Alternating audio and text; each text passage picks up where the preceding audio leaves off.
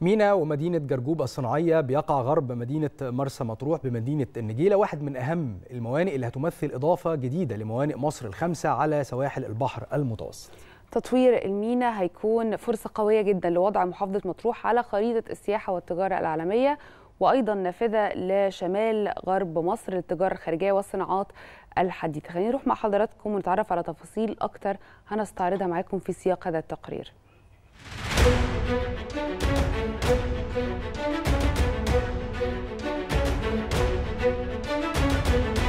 ميناء مدينة جرجوب الصناعية الذي يقع على بعد 70 كيلومترا غرب مدينة مرسى مطروح بمدينة النجيلة واحد من الإضافات الجديدة لموانئ مصر الخمسة على البحر المتوسط.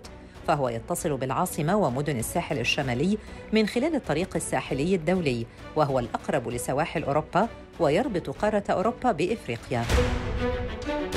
ويعتبر تطوير الميناء فرصة قوية لوضع محافظة مطروح على خريطة السياحة والتجارة العالمية ونافذة لشمال غرب مصر للتجارة الخارجية والصناعات الحديثة. كما سيعمل على خلق مجتمع عمراني مستدام يوفر فرص عمل للسكان المحليين والمستهدفين وتوفير نحو 30 ألف فرصة عمل.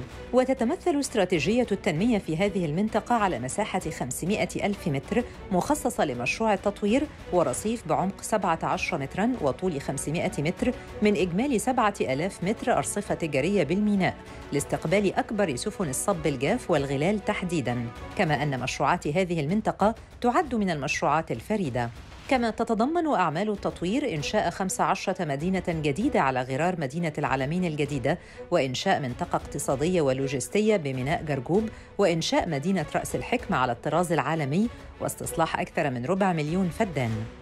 ويجري تمويل مشروع ميناء جرجوب بنظام بي أو تي وتبلغ حصة مصر في الميناء 51% ومن المقرر أن يكون طول رصيف الميناء المدني 1080.8 ألف متر وغاطس 15 متراً ودوران السفن 450 متراً. بالإضافة إلى حاجز صخري لكسر الأمواج بطول ثلاثة كيلومترات في عمق البحر تنفذه تحالف 16 شركة عالمية. كما جرى تحديد القطاع الاقتصادي المستهدف وبرنامج التطوير والقطاعات المستهدفة الرئيسية في مشروع جرجوب وهي القطاع الصناعي لوجستي وتجاري والقطاع العمراني والقطاع السياحي إلى جانب الطاقة المتجددة.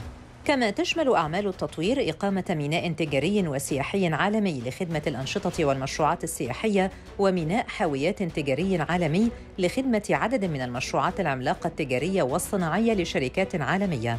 كما يهدف أيضا لإقامة عدد من الفنادق العالمية وسيخلق مجتمعات عمرانية حوله ومنطقة اقتصادية وصناعية لوجستية سكنية ومدينة سياحية عالمية ومركز اقتصادي على مساحة 54 كيلومتراً بالإضافة إلى مدارس وملاعب ومراكز استشفاء.